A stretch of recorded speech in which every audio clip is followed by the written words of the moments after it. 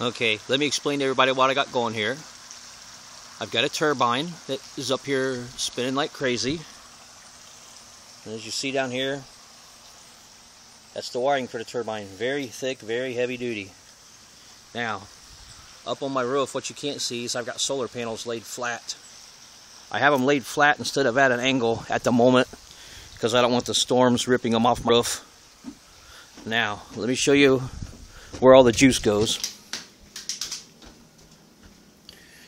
Got several things going on here. Okay, these are charge controllers.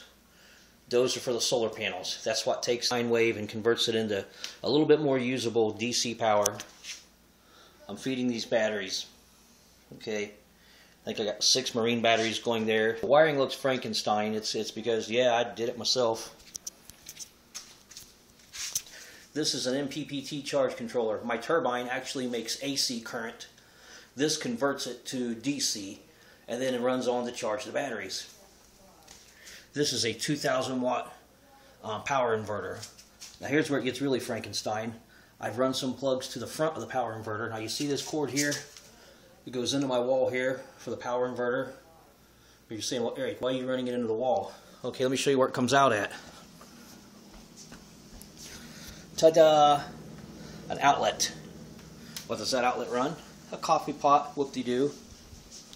And, ta-da! I don't know if you can see it or not. There, you can't have the light on. Another outlet. Those outlets are on that yellow line.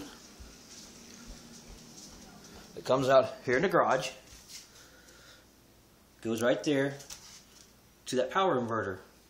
So basically every day my coffee and my laundry is coming from my turbine and my solar panels. Now, I don't know if you can see this or not. There's one more orange cord back there. Goes through the wall, comes out in the living room. So if there's a power outage, we could also run our TV, radio, whatever, off this same Frankenstein conglomeration. Pretty cool, huh?